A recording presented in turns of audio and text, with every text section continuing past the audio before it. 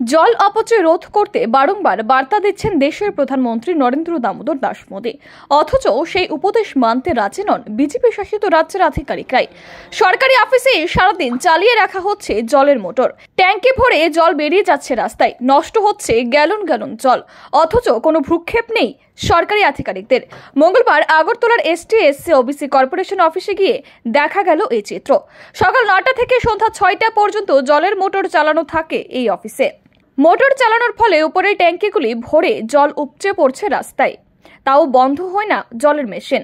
দীর্ঘদিন ধরে অভিযোগ জানালেও কেউই তাতে কর্ণপাত করে না বলে মঙ্গলবার অভিযোগ জানালেন এলাকার স্থানীয় বাসিন্দারা। এভাবে জল অপচয় হতে থাকলে ভবিষ্যতে এলাকায় জলের অভাব দেখা দিতে পারে বলে আশঙ্কায় রয়েছেন তারা।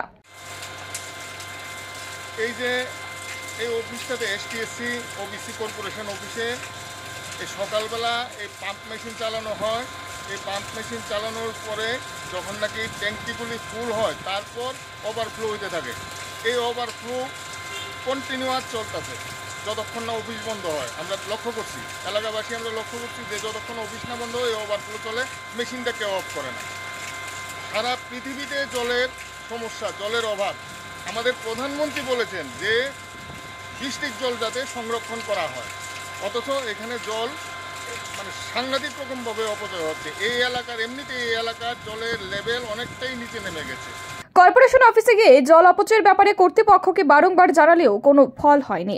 তাই বাধ্য হয়ে সংবাদ মাধ্যমের দ্বারস্থ রয়েছেন স্থানীয় এলাকাবাসী। Bureau report R E news.